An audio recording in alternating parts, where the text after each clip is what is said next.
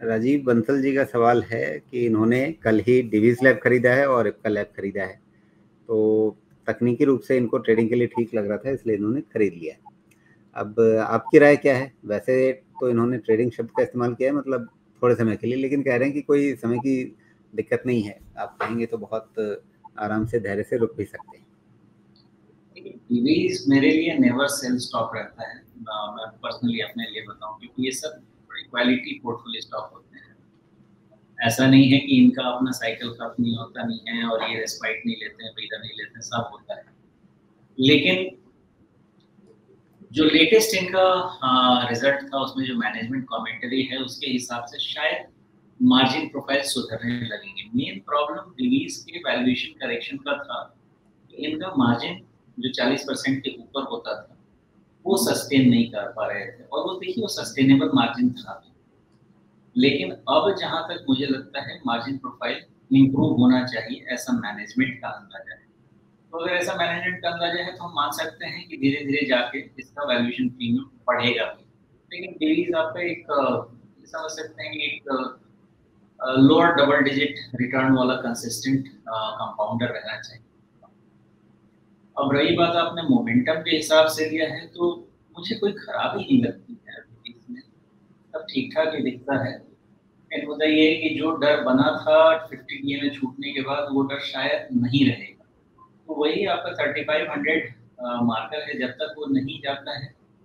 और ऊपर में thirty seven thirty seven fifty निकल जाता है तो शायद इसमें रिज़ल्ट एक्सपेक्टेशन की बाइंग वो धीरे धीरे शुरू हो। ऐसा मेरा अंदाज़ा है। बाकी ओवर टाइम एसेस करेंगे और देखेंगे क्या आता है स्टॉक में लेकिन पूरा तो नहीं लग जी। तो अभी जो सबसे ताज़ा एक छोटा बॉटम दिख रहा है ये किस दिन का है? एक सितंबर का है। और उस दिन का बॉटम कहाँ पर है? तो थर्टी फाइव ट्वेंटी नाइन या थर्टी फाइव थर्टी का है पैंतीस तीस का है। आ, क्या इस बॉटम को अगर हम एक सपोर्ट के तौर पे देखें आ, क्या वैसा माना जा सकता है? मानना ही पड़ेगा और कोई रास्ता नहीं है बिकॉज़ वही टू वही हंड्रेड डी एम ए तो जाने के बाद two hundred D M A thirty three hundred की तरफ़। मतलब सात आठ परसेंट और चले गए। जी। तो पहली चीज़ ये कि अगर टेक्निकल ट्रेडिंग के तौर पे देखें तो आपको यहाँ पे कहीं पे एक स्टॉप लॉस लगाना पड़ेगा। और उसके नीचे फिर आप देख रहे हैं एक अच्छा खासा डिस्टेंस है। आ, इनका जो ऑब्जर्वेशन है कि टेक्निकली इसमें कुछ बेहतर हुआ है। ठीक लग रहा था। तो क्या जहाँ तक स्टार्ट में दिख रहा है कि ट्वेंटी डे मूविंग एवरेज और फिफ्टी डे मूविंग एवरेज, ये दोनों आज पार हो गए हैं। तो क्या इसको एक ट्रिगर के रूप में इस्तेमाल करना ठीक है? ओवरऑल पोजिशनिंग तो ठीक है इसकी, कोई ज़्यादा दिक्कत नहीं है। मेन है कि 50 डीएमए के अराउंड थोड़ा सा हवर करता है स्टॉक उसके बाद ये 50 डीएमए निकल रहा है। एक दो दिन और वॉल्यूम प्रोफ़ाइल देखिए मेरे लिए इसका कंफर्मेशन 3750 के ऊपर है इसलिए थोड़ा सा मैं वहाँ वेट कर रहा हूँ। 3750 के ऊपर में क्या होगा ये मोस्टली मुझे लगता है कि एक सैकोसेंट बॉटम हो जाएगा इसका ये थर्टी फाइव हंड्रेड वाला। और फिर ये फोर थाउज़ेंड भी निकलने की कोशिश करेगा। मैं थर्टी सेवन फिफ्टी के बाद ही पॉजिटिव होना चाहता हूँ।